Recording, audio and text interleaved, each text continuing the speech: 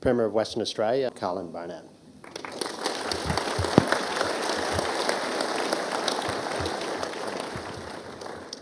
Well, good morning. Can I thank all of you? It's uh, fantastic to see uh, what I would think is probably about 300 people here, and uh, to come out and take part in this community event is very much appreciated.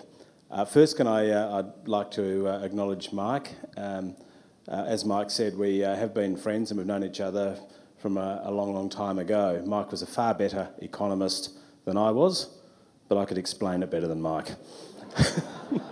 But Mike, thanks for putting on this event and thank you all for coming. And uh, you can ask any question you want and I'll choose whether I answer it. Uh, and if it's a really hard one, I'll give it to Mike. Yeah. What about the long-term plans for the uh, freeway system and the, the trains? Is such a bottleneck.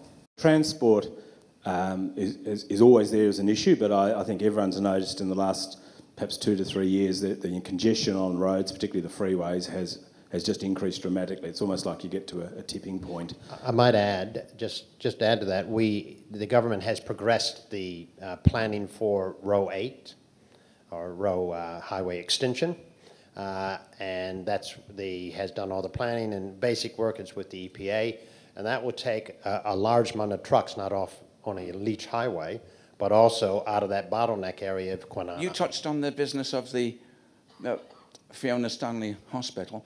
Now, if you do privatise these hospitals, what guarantee can you make? Uh, look, there has been a lot of, to be blunt, political activity about the Fiona Stanley Hospital.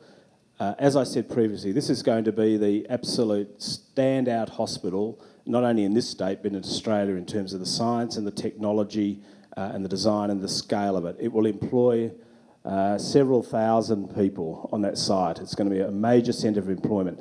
Now, can I say absolutely categorically the Fiona Stanley Hospital is not being privatised? You are being told a lie by the brochures that have been put into letterboxes, and I've seen some of them.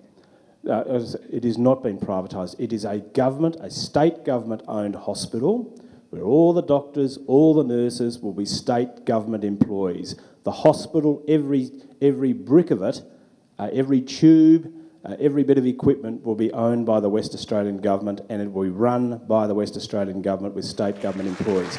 Can, can I just add to that in that, you know, in, in our West Australian system, we've contracted out uh, a lot of services from hospitals. Uh, look at the ambulance service.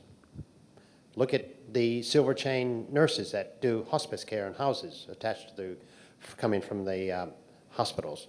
The computing system, this is nothing new. This is nothing new. Indeed, the contracting out of the activities for the Fiona Stanley, our ancillary stuff, that's, that's budgeted to save the state $500 million over the uh, next 20 years, all of which will be poured back into the running of the Fiona Stanley Hospital. We would actually be remiss if we didn't do that. It is publicly owned, publicly run, in a public facility, and it, will it will remain there uh, for the, forever. On behalf of Rossmoyne Senior High School, I would like to thank you for the wonderful new buildings currently being built at our school. They will make a world of difference in, to students and their ability to learn. I hope that the next year at Rossmoyne shall mark the beginning of the new use of these new and improved learning areas, and we look forward to the government funding the next stages of the building development so all students will have the same learning environment. Thank you. I, I don't think I've. Um, oh. That's the most polite and courteous lobby I've ever received, so well done. And, and, look, I think Rossmoyne and Willetton are, are, two just outstanding high schools. And as Mike was saying, Willetton's a very big school, a huge school in the system. Uh, Rossmoyne now, for probably 15 or 20 years, uh, just continually gets outstanding results. So I'm glad that the students of Rossmoyne appreciate your new buildings because they are fantastic, and you should thank Mike because uh, he's a hard man to say no to. Colin, uh, Gary Anderson, Principal of Lynwood Senior High, the only high school that hasn't been mentioned so far. Okay, my apologies. Another great school. well, schools that were built in the 70s that are really are struggling now.